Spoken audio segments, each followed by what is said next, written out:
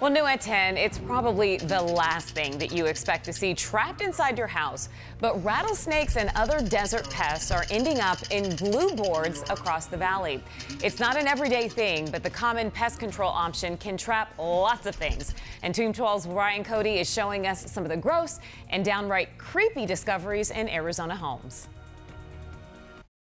Well, there are more than a few pests, rodents, and reptiles to worry about if you live in the desert, and more than a few ways to keep them out of your house. But if you're concerned about chemicals, a simple glue board like this might be one of the best options. But do they work? Peel that back and that exposes the glue. Jeremy Miller with Urban Desert Pest Control is putting down glue boards in homes all over the valley. There isn't any chemical in it, it's just sticky. And over the years, Miller seeing these boards catch everything from roaches to pill bugs. He's trying to pinch me. Obviously scorpions, and even scorpions giving birth. You're probably glad this glue trap was there. Any individual female can birth up to 50 scorpions at a time. And just as alarming, rattlesnakes. Um.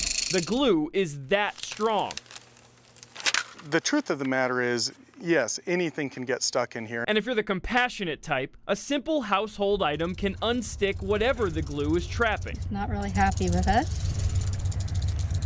I wouldn't be there if my body was stuck in a glue board. Like our rattler here, saved by vegetable oil. He's a little greasy, but free to go. Vegetable oil or olive oil, you just uh, drench it and it'll loosen that glue right up. So whether it's just ants or something much more sinister, if they didn't work, they wouldn't be a common standard practice for all of the pest control companies in the area. If you do see something dangerous in one of these glue boxes, like say a rattlesnake, don't try and handle it yourself. Call someone like the Phoenix Herpetological Society. They can come out and help remove it. We're in Phoenix, Ryan Cody, 12 News.